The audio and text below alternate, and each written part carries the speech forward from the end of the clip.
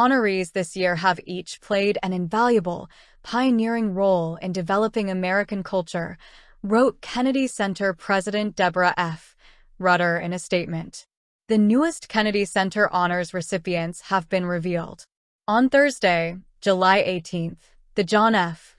Kennedy Center for the Performing Arts named rock icons Grateful Dead, acclaimed singer-songwriter Bonnie Raitt, and legendary jazz trumpeter Arturo Sandoval among this year's honorees who will receive the 47th Kennedy Center honors for lifetime artistic achievements. Others being honored this year include Oscar-winning director and filmmaker Francis Ford Coppola, 85, and the historic Apollo Theater.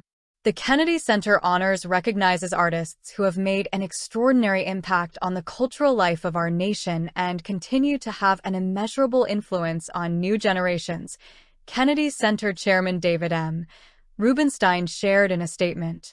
President Deborah F. Rutter also added, Our honorees this year have each played an invaluable, pioneering role in developing American culture, not with one act of art, but with their decades-long devotion to pushing creative boundaries. Giving flowers to the 2024 musical recipients, the chairman saluted the Grateful Dead for being a social and cultural phenomenon since 1965, adding, Grateful Dead's music has never stopped being a true American original while inspiring a fan culture like no other. It goes without saying that the Kennedy Center Honors represents the highest of reaches for artistic achievement. To be recognized alongside the artists who have in the past received this honor is beyond humbling. The remaining rockers Phil Lesh, 84, Mickey Hart, 80, Bill Kreutzmann, 78, and Bob Weir, 76, wrote in a collective statement.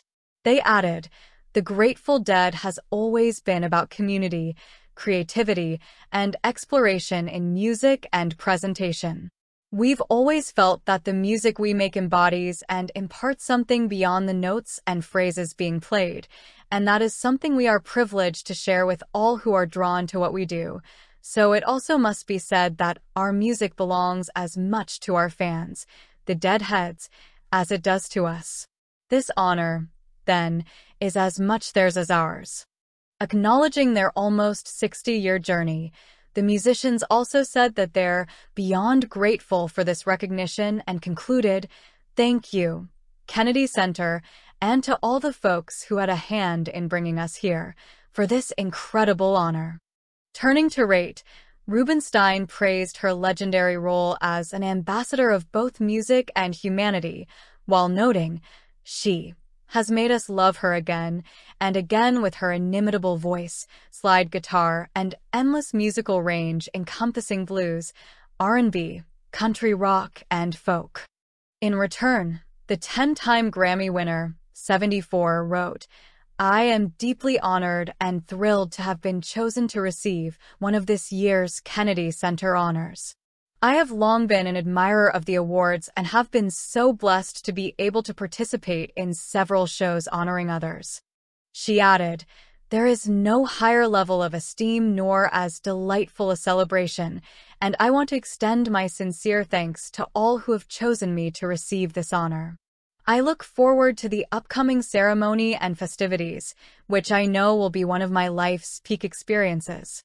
Speaking on the brilliance of Sandoval, 74, Rubenstein also wrote, Arturo Sandoval transcended literal borders coming from Cuba 30 plus years ago and today continues to bridge cultures with his intoxicating blend of Afro-Cuban rhythms and modern jazz. I am profoundly humbled and deeply honored to be selected as a recipient of the prestigious Kennedy Center honors, the musician wrote in a statement. This recognition is an extraordinary milestone in my career and a testament to the support and encouragement I have received from my family, friends, colleagues, and fans. Throughout my journey, I have strived to create, perform, and inspire with passion and integrity, he continued.